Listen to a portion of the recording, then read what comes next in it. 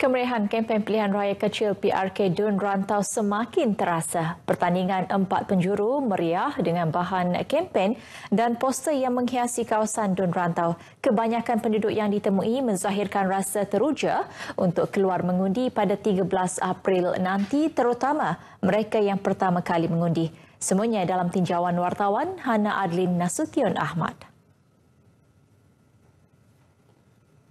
Pertama kali mengundi bukan bermakna sebelum ini belum layak mengundi. Sebaliknya, pengalaman mengundi di pusat-pusat mengundi pada hari pengundian sudah tentu berbeza dengan suasana mengundi secara pos. Itu yang cuba dibayangkan Mat Fauzi Aris pada 13 April ini. Dulu pengundi pos, sekarang ni ini merupakan kali pertama saya akan jadi pengundi biasa setelah bersara di kerajaan mana ada poster, ada kempen, ada itu, ada, ada inilah. Bagi anak jati rantau, Rosiah Jaafar, kehangatan kempen PRK rantau sememangnya berjaya menimbulkan kesedaran rakyat untuk menunaikan tanggungjawab keluar mengundi. Jadi kali ini bila dibuat semula PRK, kita memang sangat-sangat bersemangat lah. Memang kita 13 hari bulan tu memang kita tunggu betul-betul. Memang sangat-sangat bersemangat.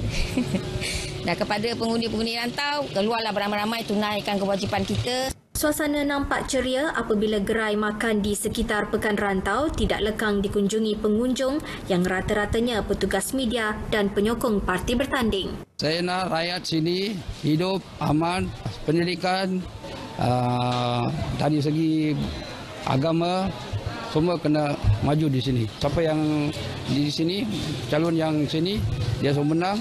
Kita harap dia buat semua apa yang penduduk sini nak kasih majukan ke sini lah.